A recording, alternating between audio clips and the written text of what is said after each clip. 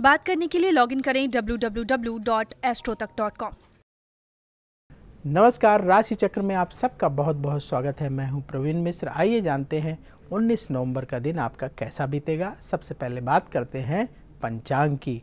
19 नवंबर 2021 दिन शुक्रवार। कार्तिक मास चल रहा है, शुक्ल पक्ष है। पूर्णिमा तिथि रहेगी दो बजकर छब्बीस मिनट तक, फिर प्रतिपदा तिथि शुरू हो जाएगी। कृतिका नक्षत्र रहेगा। चंद्रमा मेष राशि में रहेंगे आठ बजकर चौदह मिनट तक, फिर वृष राशि में चले जाएँगे।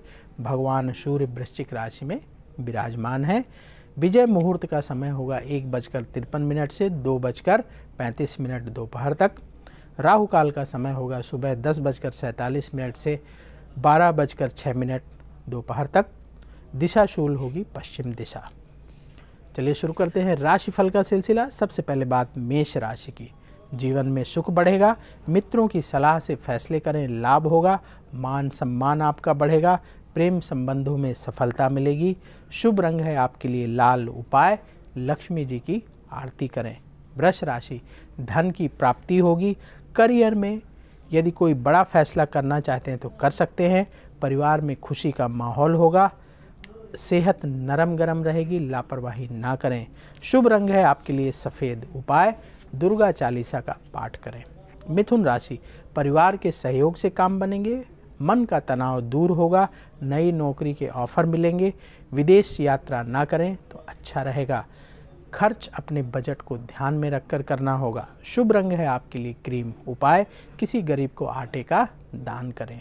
कर्क राशि भाग्य का साथ मिलेगा, धन लाभ के रास्ते खुलेंगे, भावनाओं में बहकर कोई फैसला न करें, अधिकारी आपसे प्रसन्न होंगे, नई ज़िम्मेदारी प्राप्त होगी, फ़ैशन और ग्लैमर से जुड़े लोगों को सफलता मिलेगी।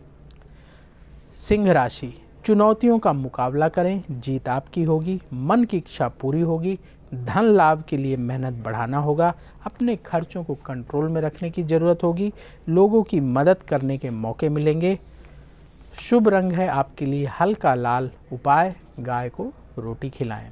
कन्या राशि, मन की चिंता दूर होगी, काम में सफलता मिलेगी, रुका हुआ पैसा प्राप्त होगा, मन खुश रहेगा, धैर्य से अपनी बात रखेंगे तो अच्छा होगा।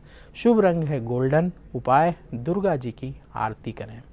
तुला राशि, धन लाभ होगा, नौकरी में प्रमोशन का योग है, परिवार में आपकी बात का सम्मान होगा, नए निवेश करने से बचें धैर्य बनाए रखें, अपने दोस्तों पर बहुत ज़्यादा भरोसा न करें, नहीं तो नुकसान हो सकता है।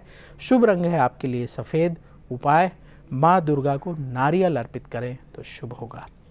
वृश्चिक राशि, मन उत्साहित रहेगा, नौकरी में उन्नति होगी, आप नया घर बुक करा सकते हैं। बातचीत करते समय आक्रामक तेवर ना दिखाएँ, क्रोध से बचें, नहीं तो किसी से झगड़ा हो सकता है।